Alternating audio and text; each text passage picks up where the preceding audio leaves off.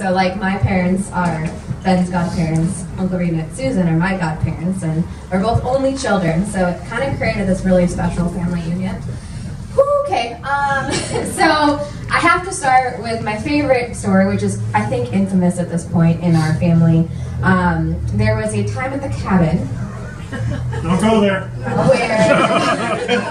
I'm going there. Um, we had to have all Ben like teenagers. It was Ben, me, and then Dan and Mary's two kids, and um, we were all definitely under 21, um, but our parents weren't. Uh, so there was a point in the evening where Aunt Susan is teaching all of us kids how to play Texas Hold'em. And Dad and Uncle Reed had broken the one martini rule probably four hours earlier. So I think at that point, they were both asleep in the living room. Um, so the next morning, we wake up, and Uncle Reed calls me out onto the front deck of the of the cabin, and we sit on the swing, and he has a conversation with me about alcohol.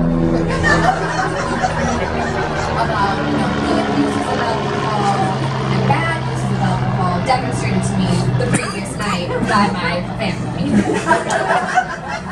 but what I love about this, what I've always said is, you know, Ben and I, we're only children, and I always joke that our dads got the right gender. Because I, because my dad got me, and I think Uncle would be in prison right now if he had a daughter. it worked out really well because Ben and I got the best of both worlds. We got to share dads and, and moms, and um, I think the biggest memory for me is just the fact that he gave us his legacy. He gave me a brother.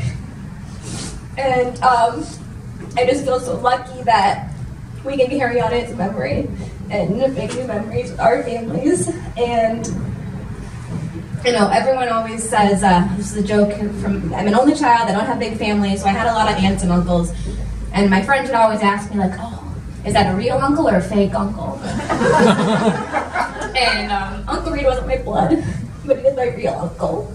And I was very lucky to be part of his life and have him as part of mine. Okay, I'm gonna stop now. I'm gonna keep crying. So.